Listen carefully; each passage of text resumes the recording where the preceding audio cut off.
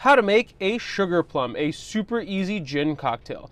We're gonna first cut up a grapefruit into fourths and we're gonna do one full ounce of fresh grapefruit juice. We are then going to do a half ounce of our house-made grenadine and two ounces of a really great gin. I'm using St. George's Botanivore. We're gonna add ice to our shaker, lock it up and shake it up, and then we're going to double strain it into a chilled coupe glass.